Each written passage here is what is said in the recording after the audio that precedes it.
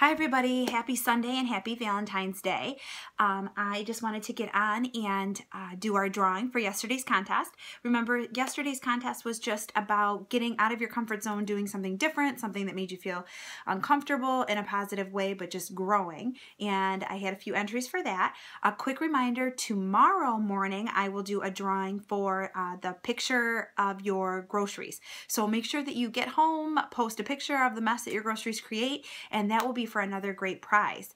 Um, if you're going out today to uh, to grocery shop, take it slow. At least if you're here local in Rochester, the roads, um, at least over by me, weren't great. They weren't terrible, but they weren't great.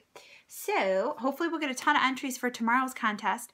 Um, but today's prize is, uh, I just picked this up, it's a soup mug um, and it's Corningware. So, you know, you can put it in the microwave or do whatever you need to do with it. And it's got the top thing to vent and everything and the lid and it seems pretty um, sealed. So, it, so you should be able to travel with your soup this week for the winner of this contest. So the winner is, closing my eyes. Okay. The winner is Jenny Kiddo. So Jenny, I will get you your soup mug. I hope you are so excited.